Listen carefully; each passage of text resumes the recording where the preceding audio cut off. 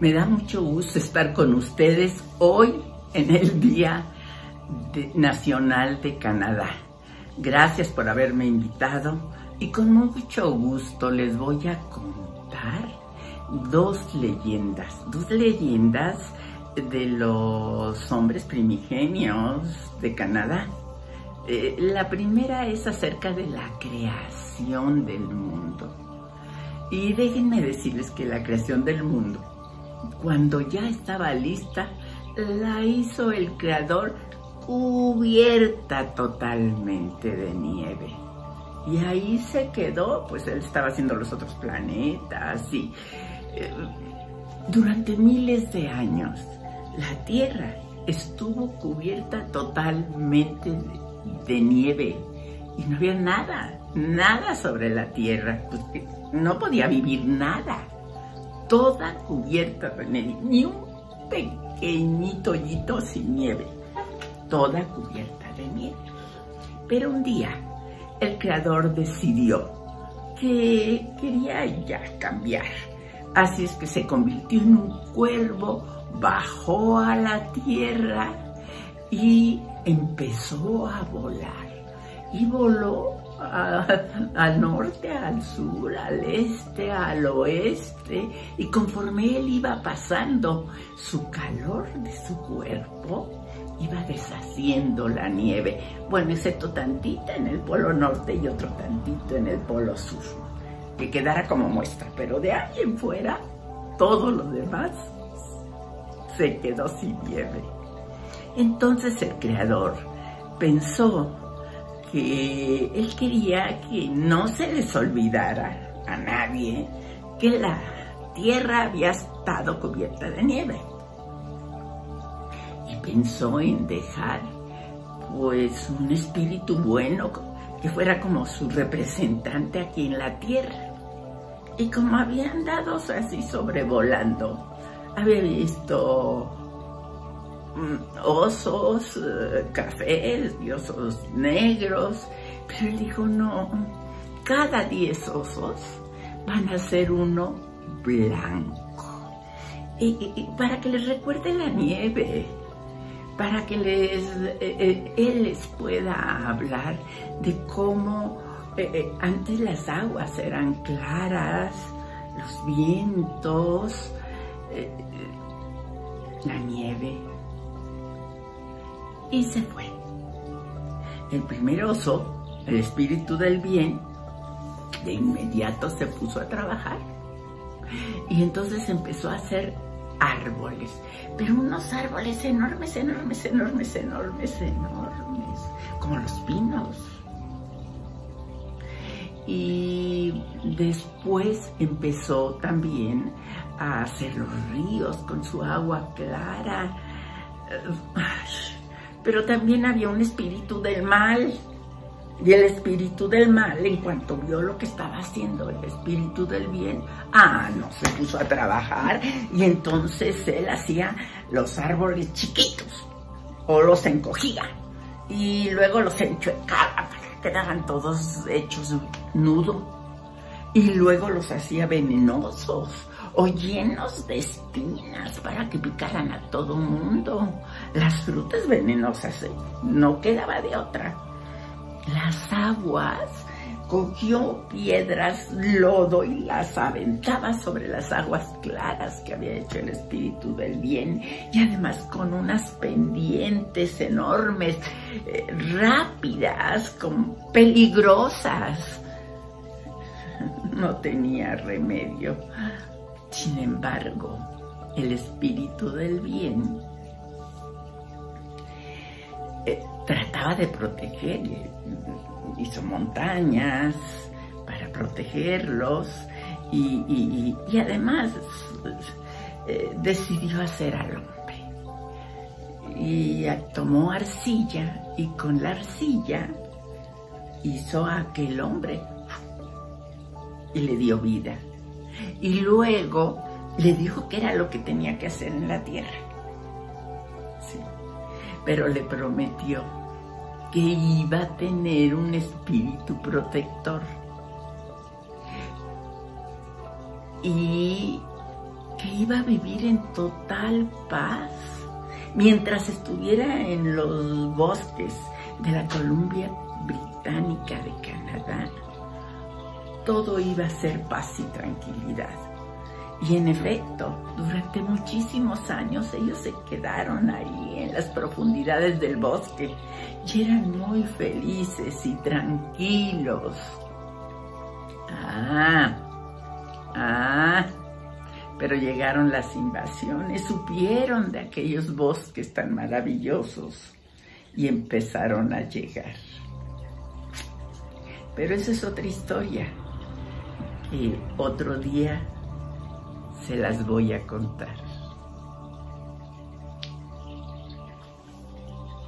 ¿Han visto ustedes los arcoíris hablando de la tierra? ¿Sí? ¿Se acuerdan cuáles son sus colores? ¿Cuántos son? ¿Sí? ¿Cuáles son? Pues que azul, ¿no? Rojo, verde, naranja, color iris, amarillo.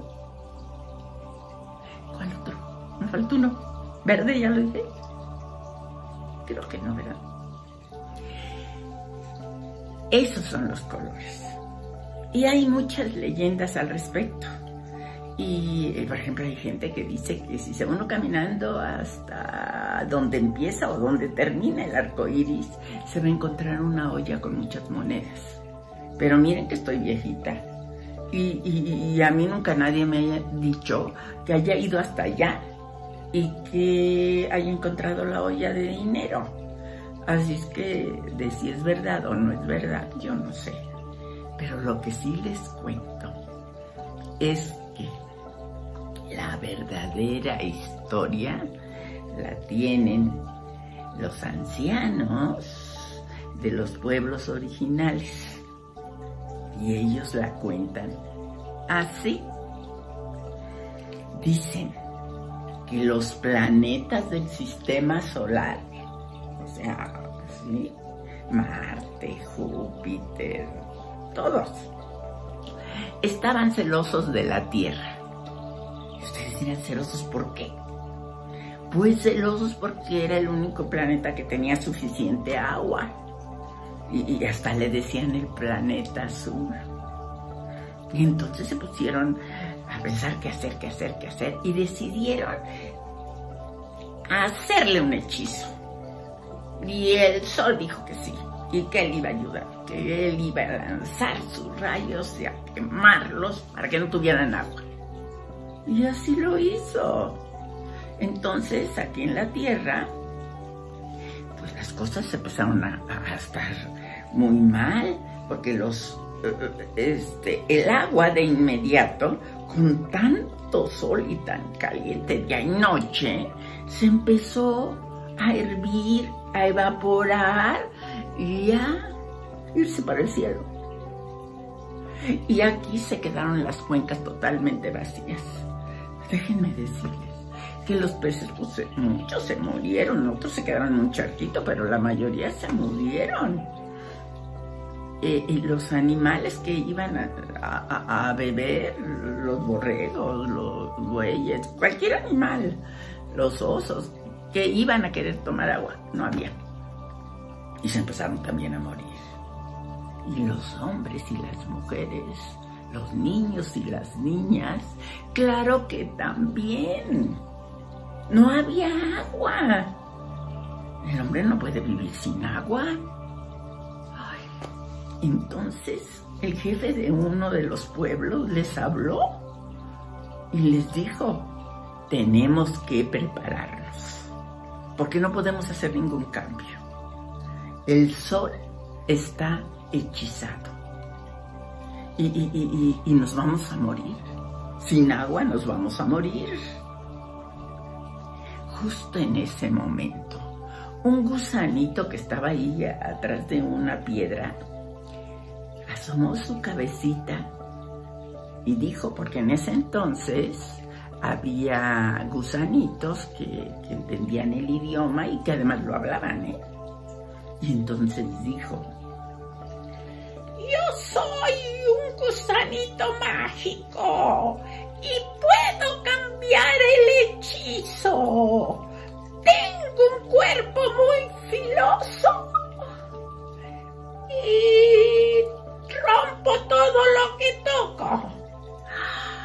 Todos dijeron que buena idea. Pues sí, digo que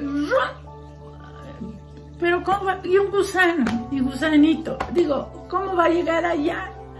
Ay, pues muy buena idea, mijito, pero pues, ¿cómo hacemos una escalera? O, o ¿cómo hacemos para llegar allá? Gracias, gracias. El gusanito alzó otra vez su cabecita y dijo, dije que yo puedo quitar el hechizo. Háganme caso.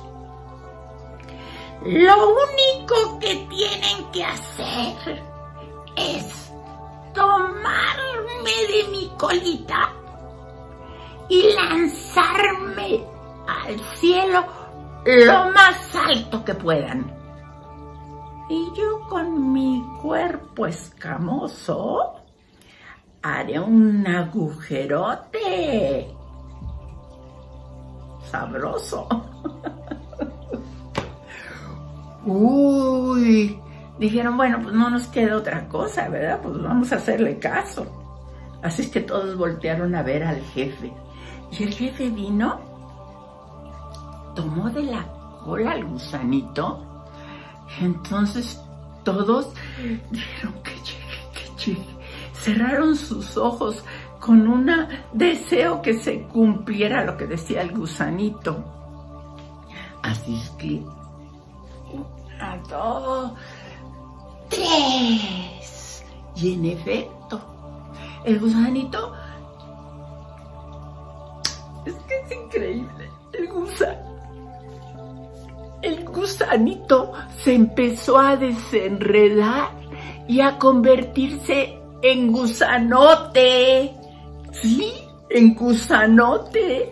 Y entonces se fue y se agarró de los dos horizontes allí y quedó así como un arco. Y en cuanto estuvo en esa posición, empezó a danzar, así como con esto como en curva, ya ven cómo son, así como son los arcos, ¿no? Y entonces ahí hagan de cuenta que este era el gusano, y entonces él hacía chaca, chaca, chaca, chaca, chaca, chaca, chaca, chaca, chaca, chaca, chaca, chaca, chaca, chaca, chaca, chaca. Bueno, los planetas dijeron, ¿qué está pasando? Caray, y cuando vieron, se asustaron, dijeron, ¿qué hemos hecho? Pero el gusanito no paraba. Chaca, chaca,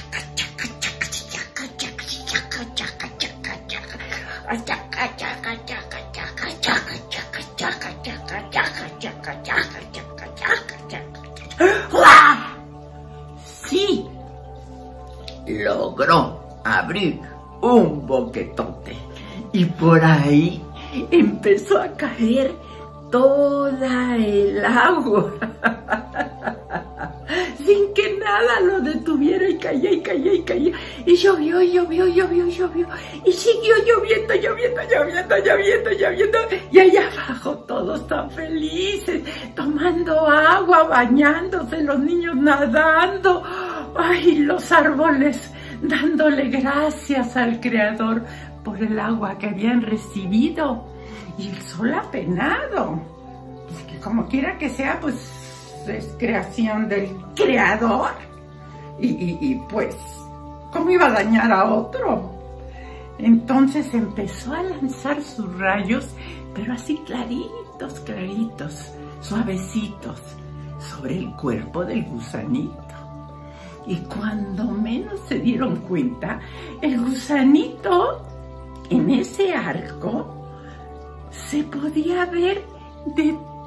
Bueno, ya no era gusanito, era gusanote, era serpiente, era... Pero sí era un arco. Pero sí se veía de todos colores. De todos los colores que ahora conocemos como el arco iris. Y como era un arco, la gente empezó a decir, mira, un arco iris. Sí, fue un milagro! Pero no quedó ahí todo, porque el gusanito se quedó, yo creo que estaba ahí muy a gusto, ni siquiera bajó a que le paraudiera, se quedó ahí. Pero cada vez que llueve, él regresa para recordárnoslo. Y entonces sale precioso ahí y, nos recuerda que el agua, el agua es un don divino, que el agua la necesitamos, que el agua tenemos que cuidarla. Chan, Muchas gracias. Espero les hayan gustado. Yo he estado feliz con ustedes. Hasta la próxima. Soy Beatriz Valero. Beablista me dicen. Hasta pronto. Hola. Me da un enorme gusto ser parte de los festejos del Día Nacional de Canadá 2020. Mi nombre es Yamil Narchi Sadek y vengo como cuentacuentos a contarte dos mitos de los pueblos originarios de Canadá. El primero es un mito de los iroqueses. Los iroqueses o Haudenosaunee se llaman así porque el nombre quiere decir los de las casas largas. Y usando esas casas largas, los Haudenosaunee lograron hacer una confederación de naciones en paz y en justicia que ha sido un enorme ejemplo para el resto de los pueblos del mundo. Y espero que te gusten los animales, porque para los iroqueses, los animales son parte fundamental de la creación. Empezamos. Al principio, todo era oscuridad. La tierra estaba cubierta de las aguas interminables. Solo había luz en el cielo. Arriba, arriba, arriba, muy arriba. En la tierra de los espíritus felices, la tierra alta, donde vivía Rahuenio, el gran espíritu, el gran legislador. Y ahí había un árbol enorme, cuyas flores incandescentes iluminaban toda la tierra alta. Era un manzano y sus raíces eran tan profundas que llegaban hasta el otro lado de la tierra. Así que un día, Rajueño, el gran espíritu, decidió arrancar el árbol con todas sus raíces.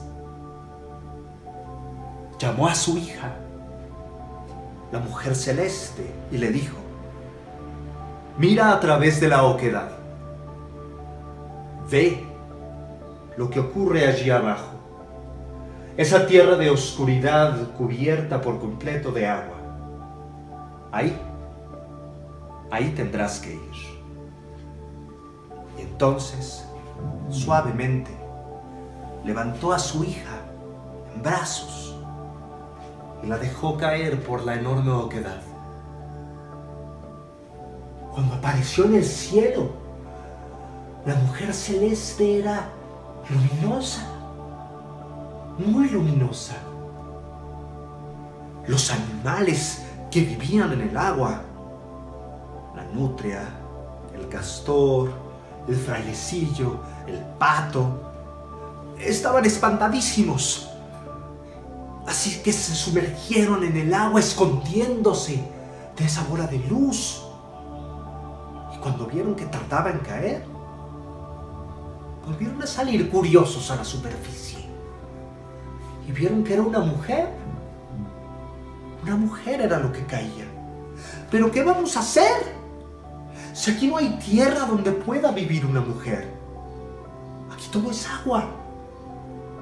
Así que decidieron zambullirse en el agua en busca de tierra para traerla que ella tuviera donde vivir. El primero fue el castor. El castor se sumergió y buscó por todas partes. Pero lo único que llegó a la superficie fue su cuerpecito que flotaba inerte. El frailecillo le siguió y se zambulló profundo, pero no volvió a aparecer. Por fin, los animales decidieron que todos buscarían. Y la nutria, cuando la nutria llegó a la superficie, tenía la patita cerrada. Y con su último aliento, la abrió y vieron los demás animales que allí, allí había un poquito de tierra. No sabían dónde ponerla, así que llamaron a la tortuga gigante.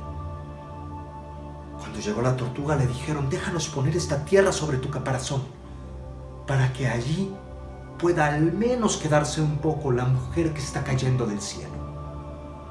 Pusieron la tierra, la acomodaron bien, y para su sorpresa, los granos de tierra se empezaron a multiplicar. Y la tortuga empezó a crecer. Y se hizo enorme, enorme, enorme, hasta que formó todo el continente. Ya había donde recibir a la mujer, pero estaba a punto de tocar el piso. No podían dejar que simple y sencillamente cayera. Así que el gran jefe de las palomas blancas les dio a los demás la indicación. Vamos a suavizar su caída. Las palomas blancas envolvieron a la mujer celeste y la bajaron suavemente sobre el caparazón de la tortuga, que era ahora la tierra. La mujer celeste gobernó la tierra por muchos años con sus animales, hasta que un día tuvo dos hijos. Primero, el espíritu del bien que construye las cosas buenas. Después, el espíritu del mal que le causó tanto dolor que murió en el parto. El espíritu del bien hizo el sol con la cabeza de su madre y con su espíritu las estrellas y la luna. Pero el espíritu del mal quería destrozar todo lo que hiciera el espíritu del bien. Así que cuando el espíritu del bien hizo una planta, el espíritu del mal le puso espinas. Cuando el espíritu del bien hacía un pez, espíritu del mal le daba huesos duros. Cuando el espíritu del bien hizo el plácido verano, el espíritu del mal hizo el cruel invierno. Y así, dicen los indios iroqueses, se hizo el mundo. Espero que les haya gustado el mito de los iroqueses. Ahora nos toca escuchar uno más. Un mito del pueblo Chippewa, o como ellos se llaman a sí mismos, Ojibwe. Y este es el mito del búfalo. El búfalo. El búfalo es un animal enorme, poderosísimo, fuerte, el búfalo era un animal orgulloso y le gustaba correr. Le gustaba recorrer corriendo las praderas que había en la zona de los grandes lagos. Pero, desde luego, las praderas no estaban vacías. Allí había otros animales que corrían peligros y el búfalo corría por ahí. Así que los zorros hicieron un acuerdo. Cuando el búfalo salía a correr, los zorros salían por delante a avisarle a todos los animales que abrieran paso para que pasara el poderoso y orgulloso búfalo. Y así corrían los días. Hasta un día en que el búfalo decidió muy de pronto que iba a correr más rápido que nunca. Y los zorros estaban distraídos y no podían alcanzarlo. Y el búfalo salió corriendo y todos los demás animales estaban allí. Y los demás animales corrían de un lado para el otro tratando de escapar y de huir. Pero desde luego, las aves no tuvieron tiempo de mover sus nidos. Y ahí en el piso quedaron pisoteados por las patas del búfalo los nidos de las aves. Y las pequeñas avecillas heridas lloraban y lloraban adoloridas. Este llanto subió y llegó a los oídos de Nanaboso, el dios de los animales. Y Nanaboso decidió bajar a ver qué era lo que ocurría. Tomó su bastón y llegó a la tierra. Los animales intimidados por la presencia de Nanaboso no sabían qué hacer, así que esperaron a que él hablara. Y él les preguntó qué había sido eso. ¿Por qué estaban llorando sus pajarillos? ¿Quién era responsable? Cuando supo lo que había pasado, llamó al búfalo, tomó su bastón y sin ningún miramiento dejó caer su pesado bastón sobre los hombros del búfalo, que adolorido y sobre todo avergonzado bajaba la cabeza. Ese es tu castigo, dijo Nanaboso. Has sido orgulloso y has hecho daño a tus hermanos animales.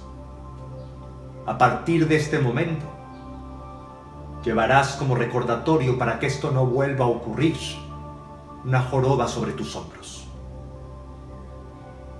Llevarás la cabeza gacha en vergüenza por lo que hiciste. Los zorros, los zorros sabían que ellos tenían responsabilidad también, así que ya habían huido y como no sabían dónde esconderse, se habían metido debajo de la tierra. Desde luego, ningún animal se puede esconder del dios de los animales. Y Nanaboso los encontró y les habló así. Soros, ustedes también tuvieron responsabilidad en esto, así que sea este su castigo. En vista de que no pueden enfrentar las consecuencias, y se esconden. Será a partir de ahora la tierra, la fría tierra, el lugar donde harán sus casas. Desde ese día, dicen los indios Chippewa,